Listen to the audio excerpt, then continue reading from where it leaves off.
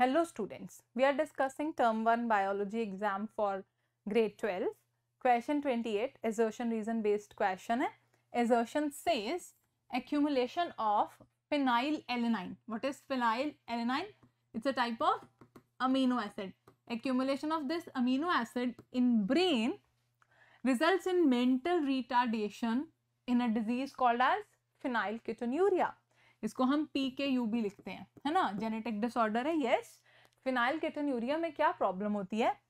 एक amino acid है that is phenylalanine this amino acid has to be converted into tyrosine ठीक है?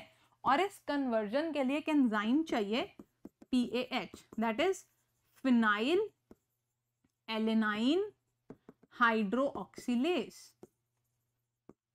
ठीक है? ये एंजाइम पीएच एंजाइम चाहिए जो इस रिएक्शन को करता है। But in case of phenylketonuria what happens is जो जीन ये एंजाइम बनाता है, वो जीन ये काम नहीं कर पा रहा है। So what happens phenyl alanine की कन्वर्जन रुक जाती है और ये इसका जो अमाउंट है वो हमारी बॉडी के अंदर इंक्रीज होना शुरू कर जाता है। जैसे कि ब्रेन में जब इसका अमाउंट इंक्रीज होता है तो it results in mental retardation right तो अब इसका रीजन रीड करते हैं। Assertion is exactly correct reason क्या कहते हैं?